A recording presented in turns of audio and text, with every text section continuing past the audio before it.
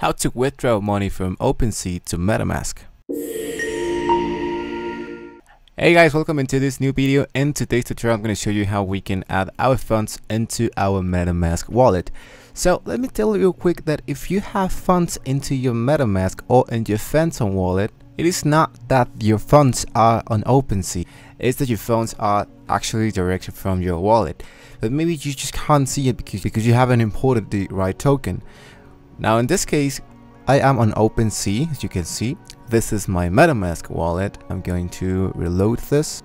So if I select my MetaMask and I change that into the Ethereum mainnet, so what you want to do first is to verify that you are using the right blockchain. In this case, I'm using Polygon. And this is actually some Matic that I had into OpenSea. So if you cannot see the Ether or you can see the Polygon, you need to go into this space that says Polygon Scan. So once we are into Polygon Scan, you want to select one that says wrapped. And either you want to grab your Matic or you want the UST token or you want a BTC token in this case, I'm going to select the WETH. That would be the wrapped Ethereum. That would be the wrapped Ether. I'm going to select this one. Now, as you can see, I have the overview of this of this whole token. We want to copy this contract. Okay, so let's go back into our MetaMask.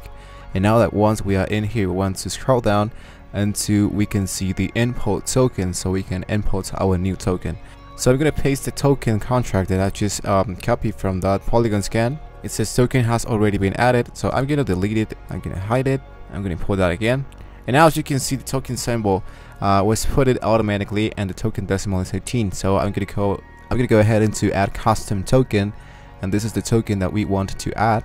I'm gonna go into import tokens and as you can see these are the transactions that i have made with this token i'm gonna go back uh, just in case that i have a few amounts of tokens of ether it's gonna be it's going to be appearing in here.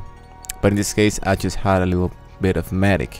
So now, just in case that you don't see your funds again, you just have to go into reload the page of OpenSea again or try to select the wallet that are in here and when you select your profile you go into refresh funds and MetaMask is going to ask for a signature request so we can sign this and we can see we try to see our funds successfully refreshed so there you have it guys, just keep in mind to use the exact network that you have to use. In this case I'm using Polygon, but maybe you want to use Ethereum mainnet, so just be aware of that guys. Uh, hopefully this was a very useful video for you. Don't forget to like and subscribe to this channel if you want to see more about this kind of stuff. Thank you for watching the video and I'll be seeing you guys in the next one.